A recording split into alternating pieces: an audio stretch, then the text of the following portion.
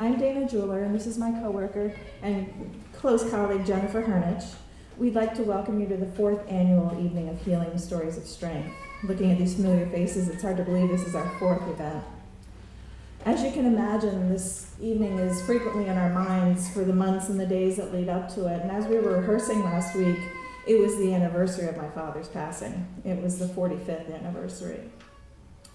Every year I post a picture of him on Facebook and I think, wow, it's so cool to look like him. I have that remembrance. Jennifer, as I said, and I are close colleagues. As we were getting to know each other in the hospital cafeteria, we both work at the hospital we were saying, oh, yeah, we came from different cities. Me from Bethesda, she was from uh, Greensboro, North Carolina. I always want to say Charlotte. And we talked about our families and everything, and we both realized we were both suicide loss survivors. We lost our fathers as children. I was eight and Jen was five. Since then, we've been on our path to resilience and strength ever since. We are both members of the Clinton County, New York Suicide Prevention Coalition and the Anti Stigma Coalition, and they both have missions that are very close to our hearts. I'm really proud to be part of the Anti Stigma Coalition recently and to look on Facebook and the internet at what Prince William and Harry and Kate are doing to eradicate the stigma. If you haven't had a chance to look, go online and, and look up Heads Together. They're really doing great work. Wouldn't it be wonderful if we could get rid of the stigma about nurturing our mental health and uh, just being strong and getting counseling. This evening will be truly inspirational. It may get heavy at times, and if you feel you need to speak to someone, there'll be counselors at the back of the room. Just make your way in the back. We'll have time to, for you to ask questions, and if you're sort of shy about asking in front of a big group, write it down. There are pens scattered throughout, and there are index cards, and a volunteer will read your question for you. This morning, as I scanned through Facebook, I discovered a quote by Marvin J. Ashton. If we could look into each other's hearts and understand the unique challenges each of us faces, I think we could treat each other more gently, with more love, patience, tolerance, and care. As you know, we all have fast paced lives. We're all going in 10 different directions. So, if I can do just a quick centering exercise to bring you into the present and the moment. So as I begin, sit comfortably, soften your gaze or close your eyes. As you breathe deeply, take that cleansing air deep into your lungs and into your belly, and hold it for about the count of six. Visualize any stress, that hustle and bustle of your life, anything that's nagging at you, just leaving your body with your exhalation. Another deep breath. Attach all those negative feelings, anything you want to get, just expel for this hour and a half. Let it out. One more deep cleansing breath.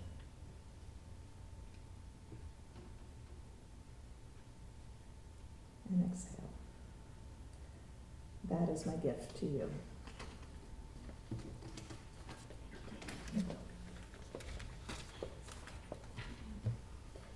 So at this time, we would like to take a few moments to recognize our previous speakers for the past three years that have had the courage to get up and share their stories of survivorship with our community. This is an incredible group of survivors who have overcome a number of adversities, some of which include the painful losses of a father, of a brother, of a son to suicide, a permanent spinal cord injury, homelessness, drug addiction, being transgender, being severely burned and in a coma, anxiety disorder and fear of public spaces, an autoimmune disease, living through the horrors of a war and being permanently separated from friends and family, devastating house fires, battles with both lung and breast cancers, growing up as a child of an alcoholic, being a parent in the midst of drug and alcohol addiction, and domestic and sexual abuse. So let's just take a moment to, to honor everyone who was our past speaker. So, why am I here tonight? You're probably asking yourself that question right now, especially if this is your first time. And maybe you came to show support for a loved one, Maybe you suffer from depression and have difficulty getting through the day. Perhaps you've lost hope in the face of trauma and you just need to regain the health of your mind, body, and spirit. I can share with you the reason why I'm here. It's because I'm kind of screwed up. but we all are a little, right? But I, I'm really here because I want to stand in my truth. Because it's people that stand in their truth that can actually change the world. I, as Dana said earlier, I lost my father to suicide when I was young. I had a pretty lousy replacement of a stepfather um, that I grew up with after that, and then I ended up running away at the age of 16. And it actually took me coming all the way up here to Plattsburgh to surround myself with such strong women like Dina and Carrie and Sally and Debbie and Dana and Bonnie. Um, to surround myself with these strong women to realize how important it is to love yourself first in order to give the love that other people need. So I'm here because I want to be connected with this source in the community, with that infinite wisdom that I know is in the room right now. So I'm here tonight because I want to listen and receive the answers that I've come here seeking. And I ask you right now to take just a minute and look at the person to your left and to your right and just ask each other, so why are you here tonight? So, no matter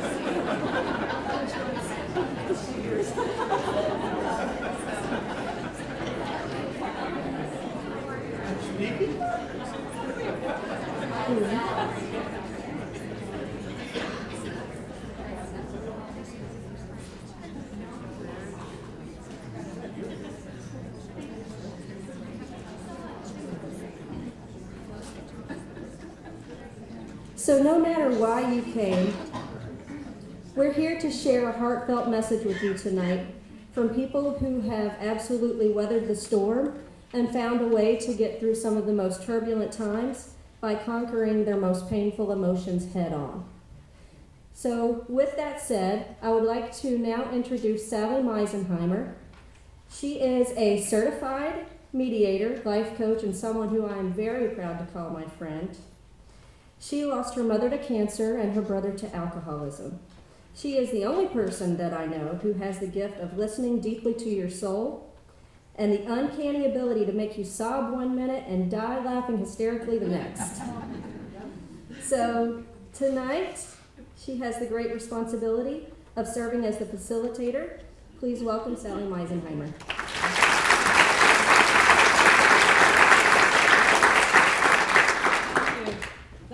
centering exercise, I think, was meant for the first row here. And when we looked at each other and said, Why are we here? Oh, I'm speaking tonight? I had no idea.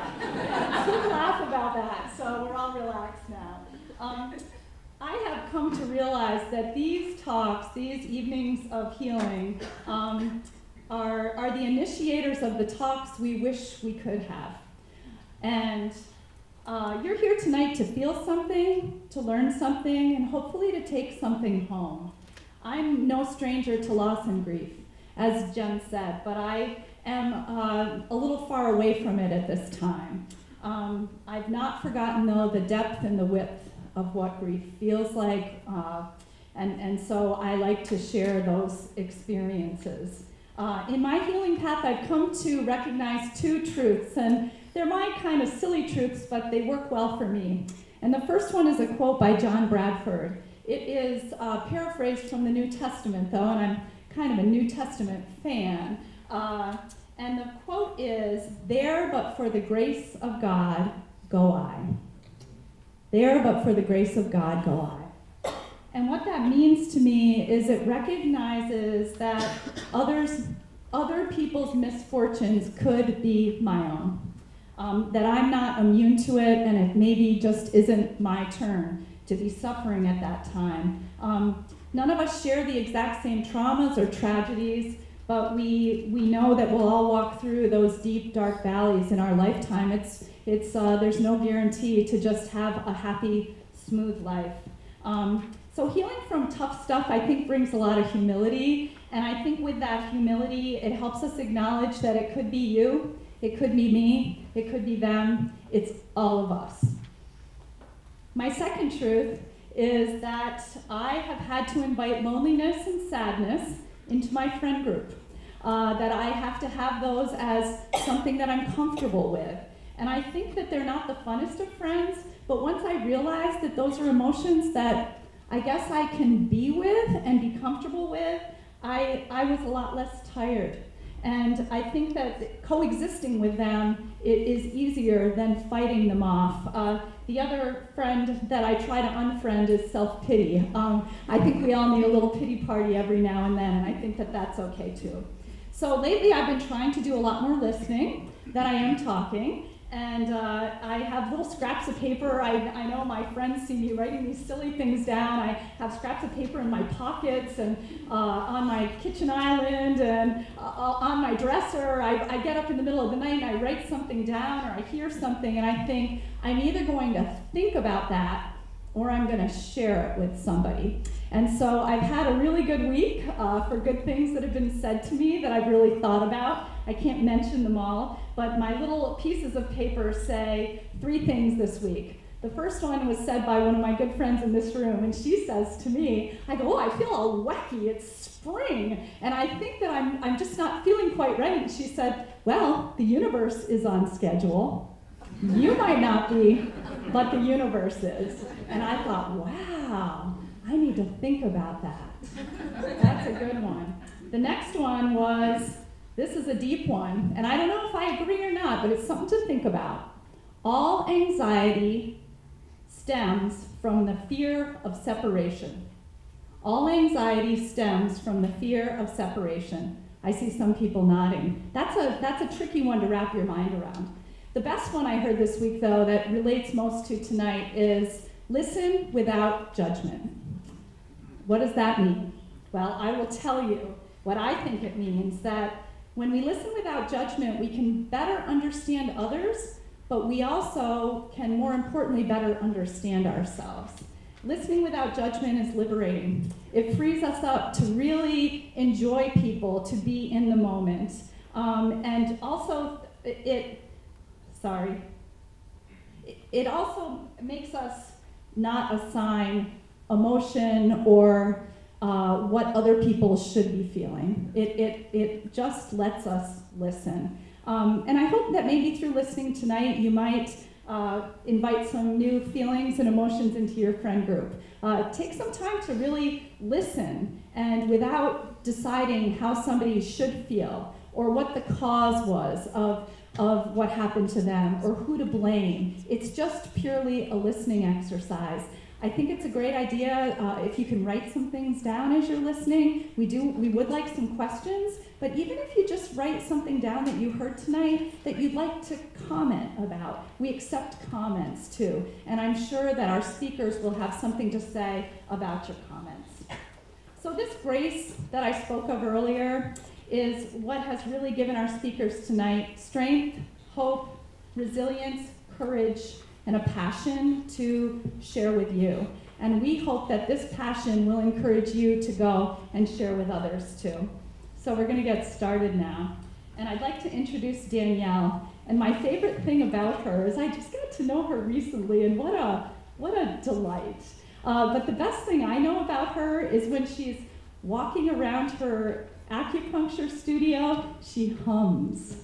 And I think that that humming is really her expression of joy. And it is just really a, a comforting, beautiful thing. It's free. And to me, that, that's a testament of your strength and acceptance, Danielle, that you can just hum when you're in between patients. Um, although her trauma is not easy to talk about and it's not easy to hear, uh, she shares her story to open up conversations and to put power back into uh, victims. So, welcome, Danielle.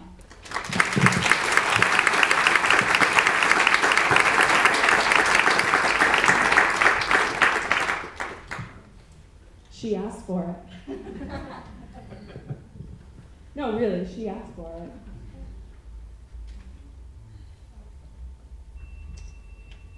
Did you see what she was wearing? men just get this urge to rape. They just do, and that's what it is. So we should all accept it. These are just some of the misconceptions about rape and sexual assault. And I was raped when I was 21 years old, and that was seven years ago. And you know, it's very confusing. It's a confusing thing, trauma, just trauma in general, because we talk about some of it and we talk about others. And sexual trauma is really hard to talk about in general. And you know, what we talk about is the response to trauma, and that is either fight or flight. So either we're going to fight them off, fight our attacker off, or we're going to run away, or maybe in a certain combination. And so, what we don't talk about with rape and sexual assault is freeze. So, this is an actual biological thing that can happen in the brain where some, this is happening to us, and our brain really just sort of goes offline. And so, it's a pause while the event is occurring. And that happened to me. And so, I was raised by really strong parents, strong, strong women around me, and what did that say about me? That I just froze and I let this man rape me. And not only that, but I dissociated. And so that means that, you know, I actually left my body and I watched from above one of my good friends rape and choke me. And so for me, it went freeze, and in that time, time and space doesn't even exist. So you don't really know how long it happened or anything. So it went freeze, fight, flight. So when I was able to come back to my body, I pushed him off. I, I, I pushed him off and I ran. And I quite frankly ran for my life. And he chased me. And so I beat myself up over this freeze, freeze, freeze, freeze. Why didn't I do anything? Why didn't I fight? And so I realize now that freeze could have potentially saved my life. What happened if I would have fought back? What would have happened? Would he have choked me out? Could I be dead right now? And so I made it to the car and I locked the doors and I was naked. And so I quickly put on my clothes and I started sort of circling downtown Plattsburgh, like, where do I go? What do I do? This happened to me. And I realized that I couldn't go home and I couldn't face my family. And so, where I ended up was my now husband's apartment. So, he's my boyfriend at the time. Which is confusing because I'm dating somebody and this happens to me. And so I run up the stairs and I burst through the door.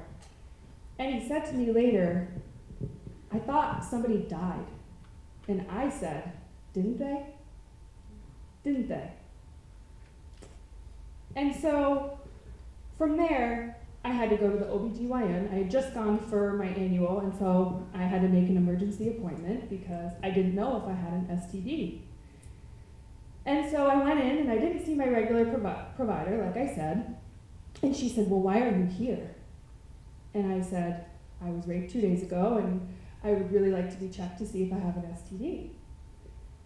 And the first thing that she said to me was, Well, what were you wearing?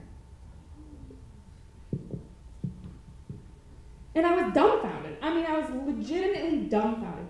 I don't care if I was wearing nipple tassels and crotchless panties, no means no.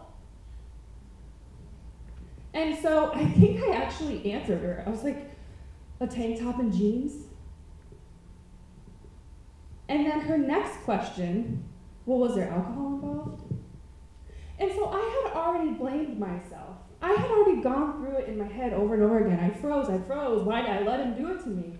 And here's this healthcare provider, somebody that I should be feeling safe with in a safe space, basically blaming me. And so that, it was just like re traumatization, basically. And so from that point on, I thought what anyone should do. Well, I thought for me, I should just I should just distance myself from this. And so when I did make it home, I thought, so my mother, very strong woman, state trooper for 25 years, Amazon woman, somebody I look up to greatly, I thought that by telling her that I would immediately just be rushed to the police barracks. You're gonna tell. You're gonna tell. We're gonna get it. And she gave me probably one of the biggest and most amazing gifts my whole life. She said, Your power was taken away from you once, and I'm not going to do it again. So you're going to decide what you want to do. And so I did. I decided that I wanted to move on. I decided that distancing myself from the event would be the best thing for me. And so I did that. I did that with alcohol. I did that with drugs. I did that with any way that I could escape my body. Because I thought that moving towards the trauma was going to throw me off the deep end. I mean, I just didn't think that I could handle it. And so I would continue to get repeated contacts. The man who rapes me just keeps trying to contact me over and over again. And every time it happened, it would spin me, completely spin me. And so I was in grad school at the time, and I realized that what I was doing wasn't working. It just wouldn't work to just pretend like it didn't happen, pretend like you're okay. And so I started working, really working, working towards moving closer to it, moving closer to my body, trying to understand what my thoughts, feelings, and emotions are on the subject, and how, how can I get closer to move through it, feel to heal. And so that's essentially what I did. And I really, I mean, work, lots of work, and it's still work. And so now I've graduated, I started my acupuncture practice, and it's a gift that my practice is very busy, and I'm so grateful to do what I do every day. And what I can do is I can change the way that I relate to the trauma. And so, what that means is using it for good. It means creating safe space. And when somebody comes into me and says to me, I was raped two days ago, I don't blame them. And so, it's a gift. It really is a gift. And, you know, when I was raped, my soul shattered. That's what it felt like. It felt like my soul shattered, and I've been on walking this path and doing the work and trying to put all the pieces back together. And I, I promise that the before picture and the mosaic picture that I'm putting together is just stronger. It's woven together in steel, but it's softer, it's wiser, it knows, it's intuitive. And so, for that, I truly am eternally grateful for what happened to me. And that's confusing. It's confusing to say to somebody who's walking through it right now, to say, one day you're going to be grateful. But it's true. So, anyone who's going through a trauma like this, I just encourage you, any trauma really, I encourage you to zoom out. Don't miss the forest through the trees. Try to move closer to it. Because I found that by moving closer to myself, it's opened a wealth of information that I can use in everyday life. And so I just want to leave you with a, one of my favorite quotes from Mark Twain, and that is The two most important days of your life are the day you were born and the day you find out why. Thank you.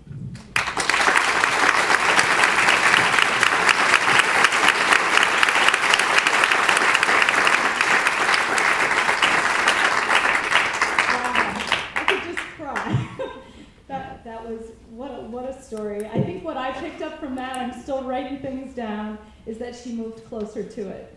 And what, what, what an encouraging uh, remark for people that are on the right on the raw edge of trauma, trauma to, to, to become friends with it and to move through it. Thank you, Danielle. So Trevor is uh, among the first people that called me after my brother died. And my brother was 35 years old, and he called me to truly just acknowledge my sadness and to show his understanding of the hopelessness that my brother felt from his alcoholism. Trevor was close to that himself and could really relate to it. And you know what? He didn't say much, but it was one of the most powerful phone calls that I ever received. And what I learned is that true compassion doesn't need a whole lot of words. It, it can be really just being with somebody and just calling somebody, and you don't know what to say, but you're in there with them. And uh, I think that once you listen to Trevor, you'll understand uh, the effect he had on me and also the effect he has on our community and the people that he is in contact. And I know they heal him as much as he heals them. So, welcome, Trevor.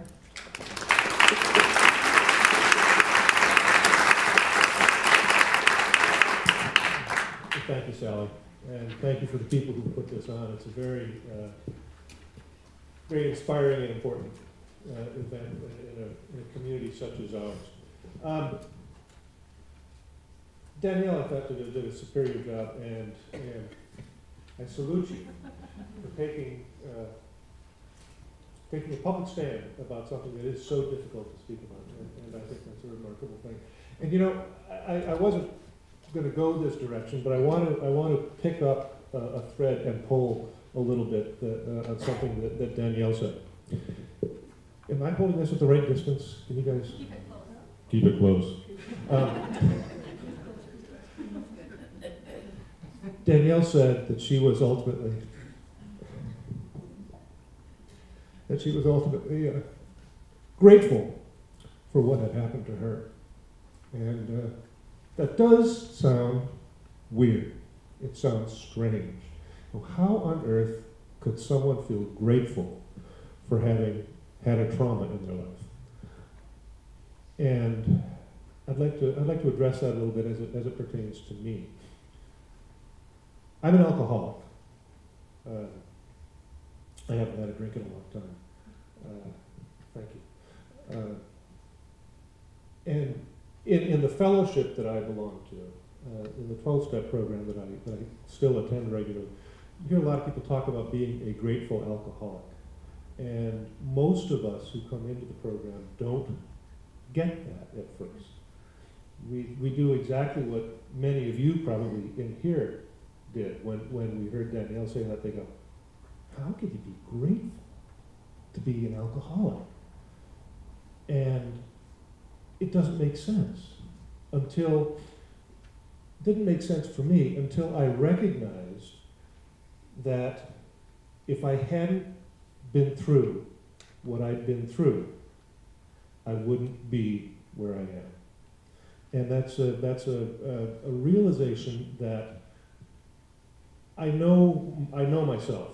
And I know that if I hadn't been through, if I hadn't been, as we describe sometimes, beaten into reasonableness that I never would have been able to, to step back, to zone out, or zoom out, as, as Danielle used. I think that's a great phrase, and be able to look at and appreciate what I've been given. And what I've been given is an opportunity, in fact, the, the, a, a, com, a compelling reason to stop and look at myself, see where I've been, and see where I can go. Um, anyway, I'm going to back up. Uh, it, for those of you who don't know kind of the, the run up to why I, I am here now, uh, it is because I am an alcoholic and I started drinking at a, at a very young age.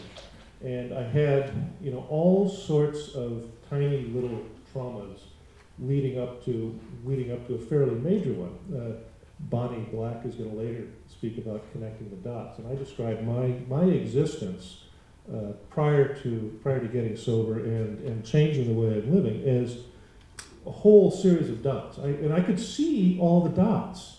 You know, it's, it was it's quite something to me when I look back now and, and see all these dots and recognize my utter inability to connect them. You know, there are all sorts of data points, but no patterns when I looked at when I looked at my life. Until I got to the point where I was really, truly driven to my knees and helped, urged, cajoled, nurtured, nudged to address what's, what had been going on in my life. Own what was mine make things make things right with, with the people who had had tolerated my behavior. Goodness knows why. Most of them did it, um, and put it behind me, and put it behind me. And it was would be it would be impossible for me to do that alone, and I still can't do it alone. I need I need the help of, of people who have had similar experiences, and people who have the willingness to stick with me, to explain how what, what has gone on in their lives is similar to mine, and not to tell me what to do. I don't know about anybody else in here, but when I get told what to do, I react very poorly. I'm, I'm not, it's, you know, when you tell me what to do, I can almost guarantee you that, that, our, that the next few minutes of our, of our encounter, is, is that correct, JD? Uh, I when you tell me what to do, the next few minutes of our encounter are not, they're not going to be very pleasant. Uh, you know, because I, I'm, I'm, uh, I'm arrogant and I know it all, and I'm, you know, all sorts of, all sorts of ugly things. But I have, but I have, stop laughing, guys.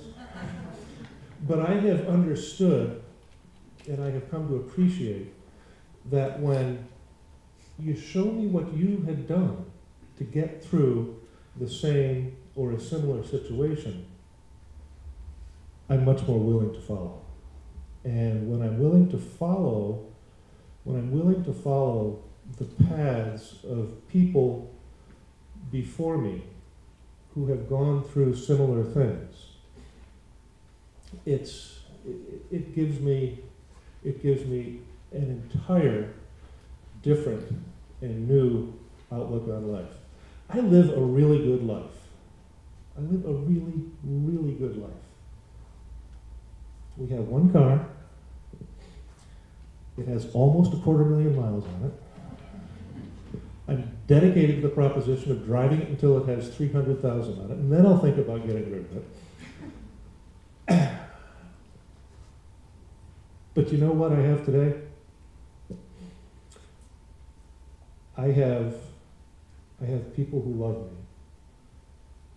me. And I have many, many, many people whom I love. And I have the ability and the willingness to show that love for people. I also have today the recognition of the fact that I can't do this. I can't, I don't know how I don't know how to live a good life. I have to be shown on a daily basis. I have to, I have to allow people to lead me. I have to recognize that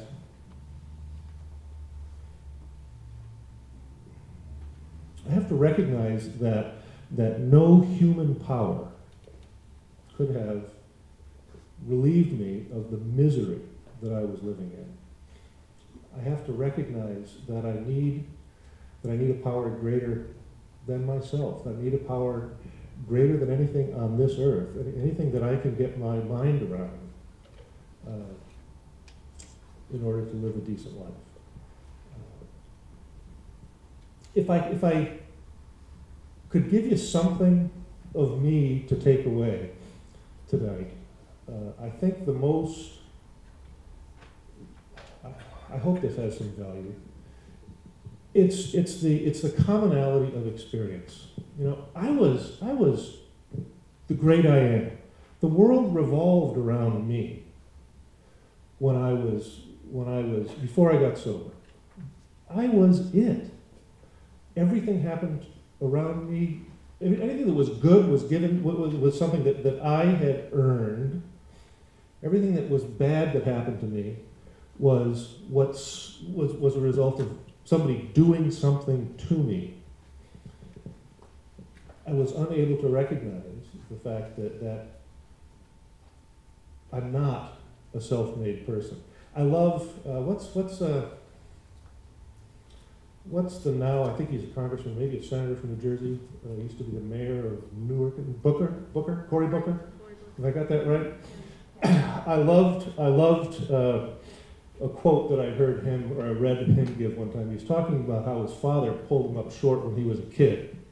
His father said, Kid, stop walking around like you hit a home run. You were born on third base. and you know, I have to recognize that. Uh, my mother said, or I shouldn't go back that far.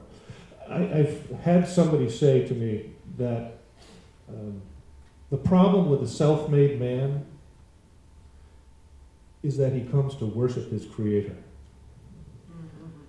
And, you know, that was me.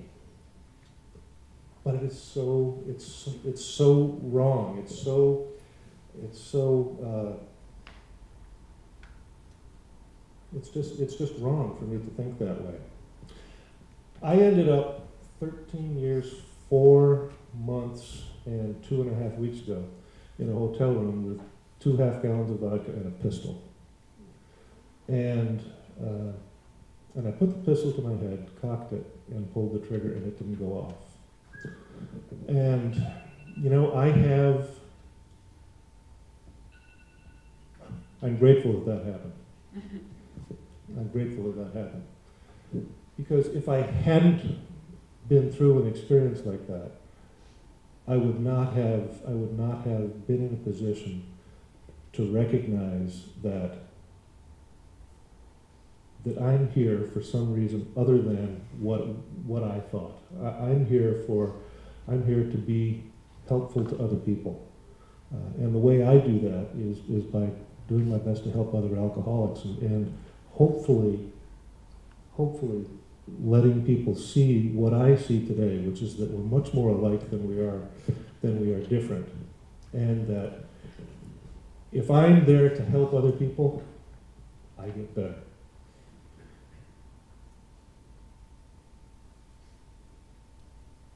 I really, really live a good life today because I do my best to give away what has been so freely given to me, and I, I think I can leave that uh, there this evening.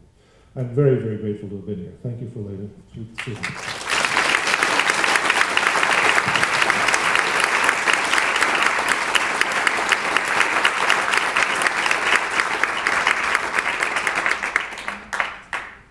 I think we can all um, recognize our utter inability to connect the dots, like you had said, Trevor. It's, you know, sometimes it's in plain sight for other people, but it takes a while for us to recognize what's happening to us.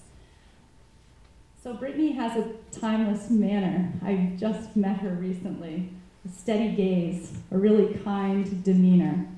And she disproves the theory that youth and wisdom cannot coexist. They certainly have for her.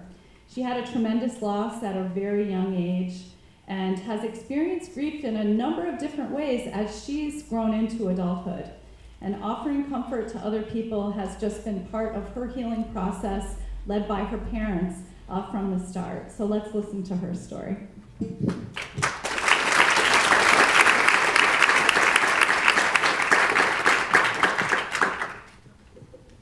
Hello. Um, growing up, I had, um, I came from a very close, come from a very close knit family. Um, we were very fortunate to grow up a quarter of a mile from aunts, uncles, cousins, and all of my grandparents. Um, and that gave us a very strong sense of a unified extended family.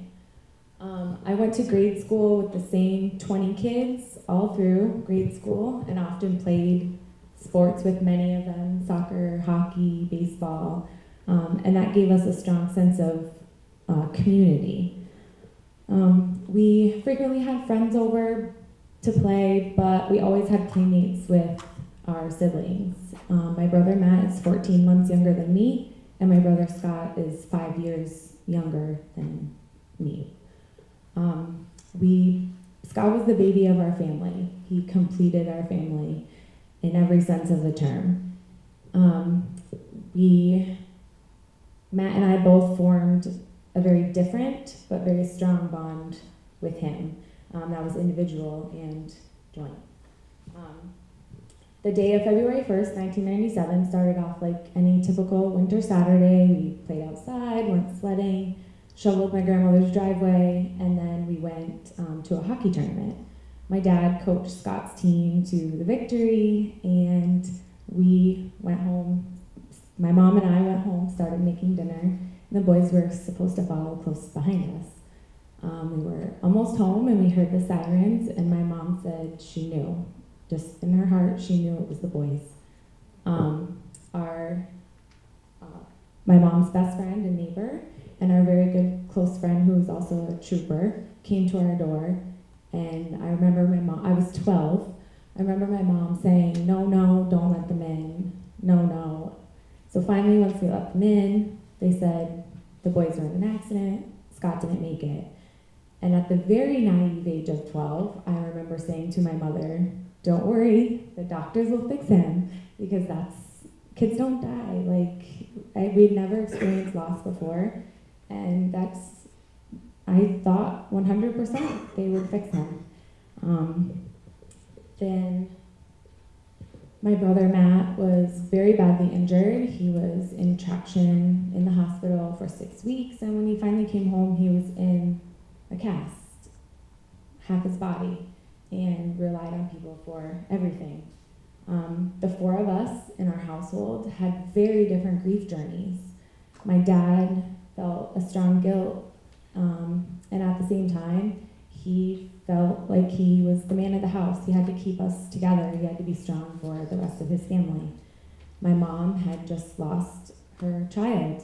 Um, she, but yet she still had two others. She had to get out, take care of our household, get me to school, go visit my brother who was in the hospital, and just keep life normal.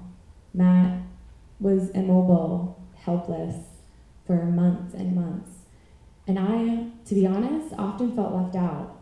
Um, I went to school like normal, but I felt like my grief did not matter. Everyone asked how my parents were. Um, even my friends, I went back to school a week, maybe two weeks later, and it was kind of like nothing happened. Um, we, as a family, we put all of our energy into making something better out of this, and we worked tirelessly with the amazing support of our generous community and helped take what we now call the Scotts Memorial Rink from an outdoor little rinky, rinky dink ice rink to an amazing, fully enclosed, high functioning rink that it is today. Um, we always call it a labor of love. I, I pretend my mom came up with that term. Um, it really has been a labor of love. Um, we always, as a family, we felt closer to him when we were there working tirelessly year after year. Um, and, you know, it's really helped us work through the grief. And being a hockey family, we thought that was, that was what we were meant to do to honor Scott. Um, we also found the Compassionate Friends. I don't know if you guys have ever heard of that. It's a support group, national, well, actually worldwide, um, that helps parents, grandparents, siblings get through the loss of a loved one. Um, my mom and dad and I went to a meeting and we became members at first, and then my mom and I became leaders because we really felt like we could make a difference and help people and support people. Um, the Compassionate Friends really helped me because I met people that had similar situations. No, no trauma is the same, but it felt good knowing other people had been through the same thing. Um, I didn't have that. I was 12. No one in my school had gone through that, um, and that's mainly where I had my friends. Um, and I went to four different counselors, and I finally found one, and I'd probably still be going to him if he was still here. Um, but the Compassionate Friends was different, um, just because I wasn't paying them to go talk to them. Um, my mom always says, you know, when people say like, you know, can I, do we pay to come to these meetings? Do we do this? And she always says, we've paid the ultimate price. Um, and so that's, that's kind of how we feel that we can give back. Um, we're not experts by any means, like the counselors, but we just we listen, we share, we try to help people along their grief journey. Um, I strongly dislike the phrase "it gets easier." I know you've all heard it. I do not agree with that at all. Um, I always say grief changes; it gets different. It does not get easier. Um, it's been 20 years, and it has gotten much harder for me than it was 20 years ago. Um, for me, grief hits in waves, and those waves for me are the major milestones. Um, my brother's graduation, when I got married, when I started having children, when his friends started getting married and having children, which I don't know how that's possible. Um, it, I mourn at every milestone. I mourn that I, he wasn't in my wedding. He didn't come to the hospital to see my children. I mourn all of those milestones. And so that's why I say it does not get easier. It, it changes. And you can, you cope with it. It's just, it's not easier. Um, and then when I became a parent myself, I grieved in a whole different way. I grieved for my parents because I never knew what they were going through until I had my own child. And then my heart broke all over again. And I grieved for my brother in a completely different way.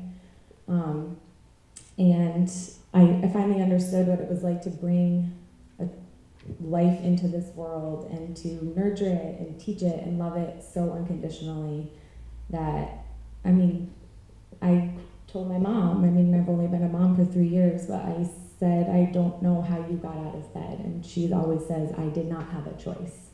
I had other children, I had a husband, I had a house. I didn't have a choice. I think you did, but but you chose to do that anyway.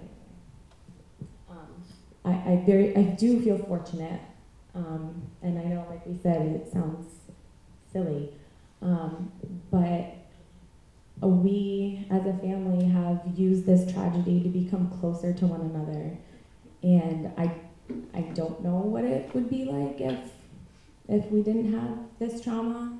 Um, but I just know that we are extremely close, and I'm very fortunate for that. Um, we, I feel like grief has allowed me to not take anything for granted and to not hold back at all. And we know tomorrow is not promised, and so we live today and we make the most, most of it. Thank you.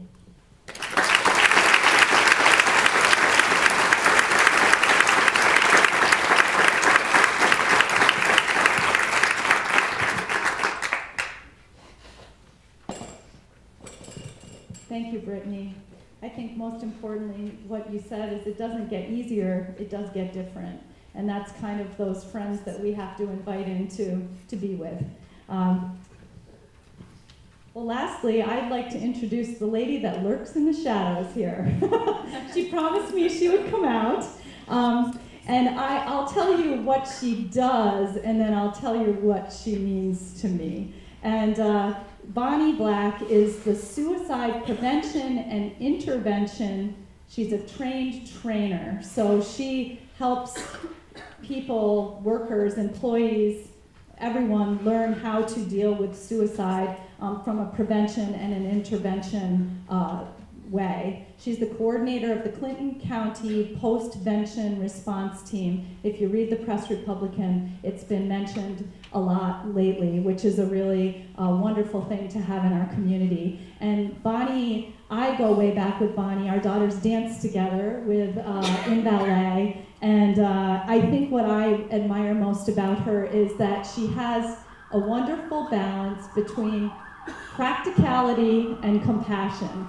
And uh, she's she just she knows what to do, but she does it with her heart as well. So welcome, Bonnie.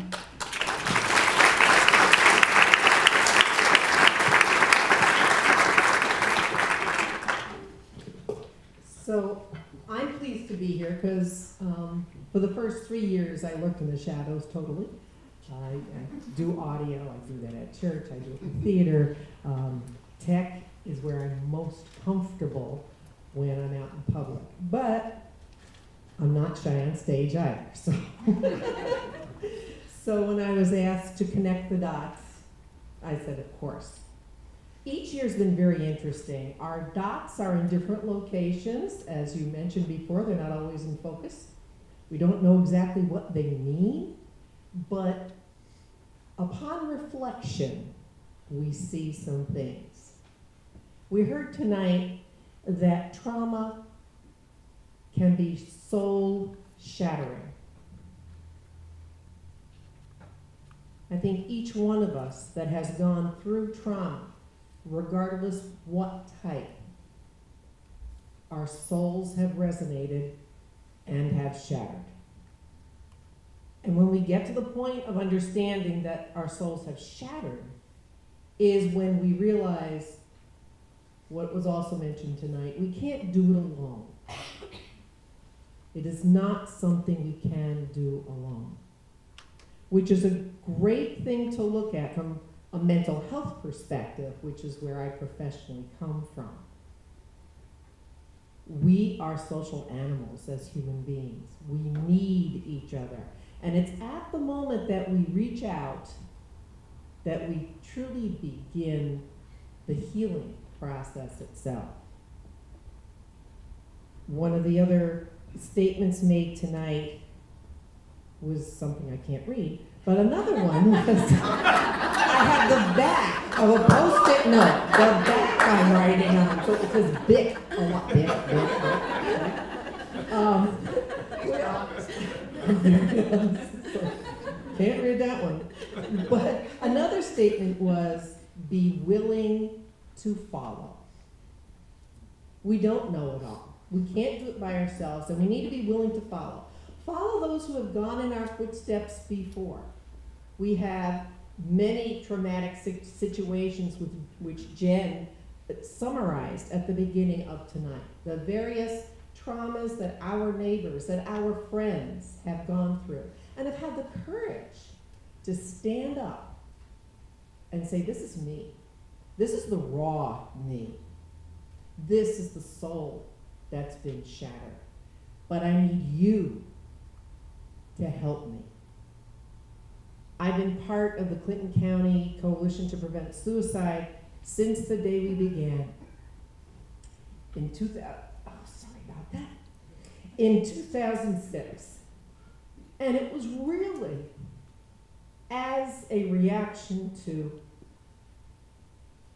a friend's loss of her son. and when we say we don't know what the future is going to bring, or to say, you know, I'm grateful. I can't say that. But I appreciate how the community came together, how the community linked with each other, how through our ups and downs in our coalition, we have members that come, we have members that go. We are here when you need to follow from your soul shattering experience. Our convener, Amanda Boris, is here. Um, under her direction, we have grown in the ability that we've been able to do suicide prevention training, suicide intervention trainings. Those trainings are listed on a handout um, in the back by the water. Um, and we really, the beginning of this month, April 1st, and it wasn't a Fool's Day joke, our suicide postvention team launched. And why? Because the spring into the summer is when the most suicides occur, opposed to the myth that you may think about the holidays. There are many reasons. Suicide is multifactorial. It's not just one thing. But we join together, we join as a group. And as we go through, whether it be suicide or other trauma, what we need to recognize is that if we have a caring and compassionate community, which should be our goal, that we will be a stronger community. We will be there ready to support each other. We will be available to help put that mosaic back together so that when it is shattered, we are stronger by what binds us together. And we hope that each of us and all of us will have the strength, which you've heard tonight, which you've heard for four years now, regardless of trauma, that we, each one of us, can connect those dots and say, here's my hand, let me lift you up.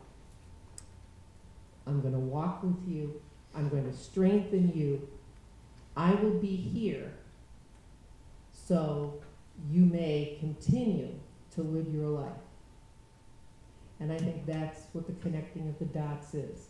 Not just our three people tonight, but all of the people over four years, and all of you who are brought here for a personal reason.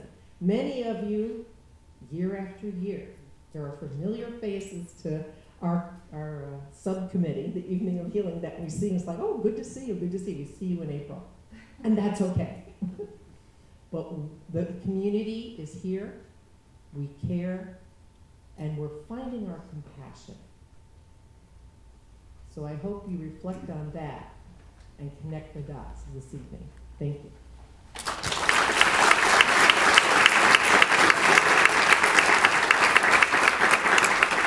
Thank you, Bonnie.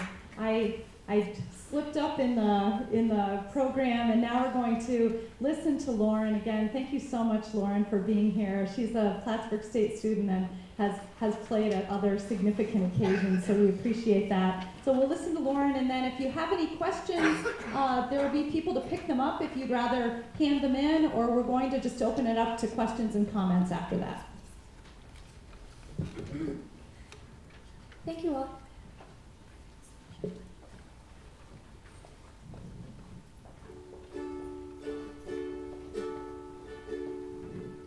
Don't go changing to try to please me. You never let me down before.